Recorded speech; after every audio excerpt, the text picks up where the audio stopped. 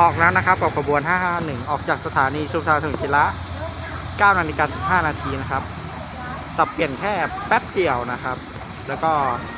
ทำจุดนำตู้คอนเทนเนอร์บางส่วนนะครับ ไปส่งที่สถานีบ้านหินโคนไม่ก็อุบลนะครับ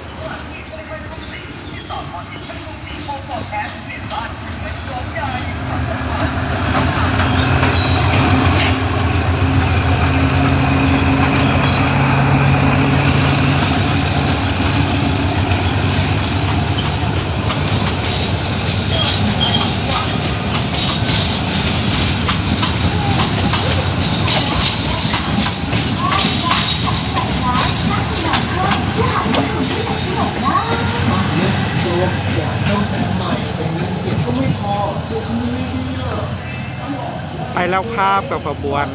551 นะครับ ได้รถหัวจักร GEA 4560ทำขบวนมาครับ